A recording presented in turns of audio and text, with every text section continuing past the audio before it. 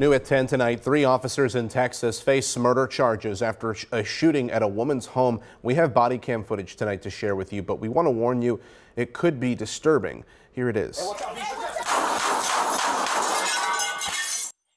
San Antonio police were called to an apartment complex for reports of a woman cutting wires to the building's fire alarm system. Officers say they confronted the woman after she locked herself in her apartment and officers tried to talk to her when they say she tossed a candle holder and swung a hammer at police. That's when officers fired.